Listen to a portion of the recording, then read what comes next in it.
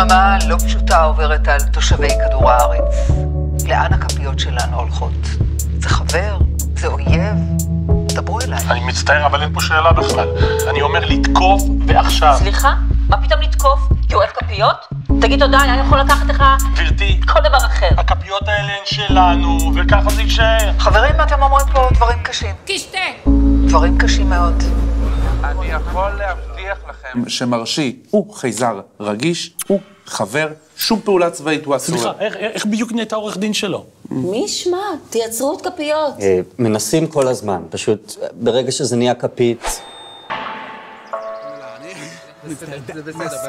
אני מאוד מצטער. אני אמרתי לך, נכון, אני אמרתי. אני חולה על השטויות שלו. כן, אני עושה עליו דוקו עכשיו. אה, וואלה, איזה יופי, אני גם עושה נראה לי. ניב! הרי נאמר, ויגזם עולמיינה, אופסה לכם קפיטיינה. תודה רבה ונעבור לתחזית. בני? וואי וואי. תודה בני. פרסומת אחת וחזרנו. לרגעים בלי כפיות, מלקישות.